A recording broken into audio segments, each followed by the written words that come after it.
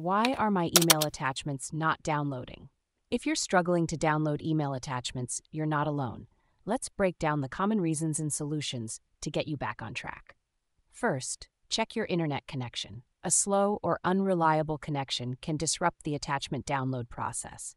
Ensure your network is stable, and if needed, reset your router and reconnect to a reliable network. Another issue could be your browser. Make sure you're using a compatible browser like Google Chrome, Mozilla Firefox, Safari, or Microsoft Edge. Sometimes, updating your browser to the latest version can resolve the problem.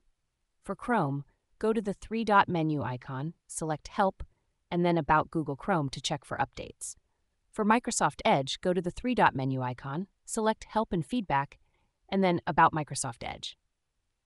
Browser extensions can also cause problems. Turn off your extensions one by one to see if any of them are interfering with Gmail's functionality. Ad blockers and security plugins are common culprits. If the sender has sent the attachment with Gmail's confidential mode enabled, you won't be able to download, print, or save the attachment.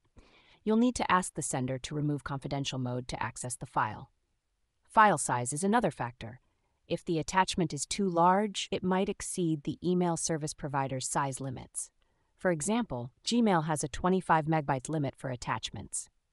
You can ask the sender to compress the file or upload it to a cloud storage service like Google Drive and share the link instead.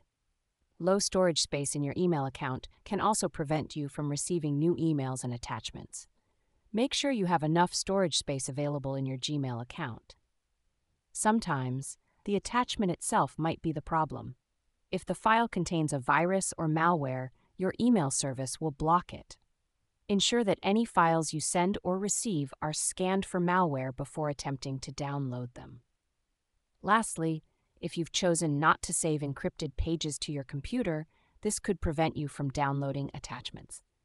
You'll need to change this setting to allow encrypted pages to be saved. By checking these common issues and applying the appropriate solutions, you should be able to download your email attachments without any hassle.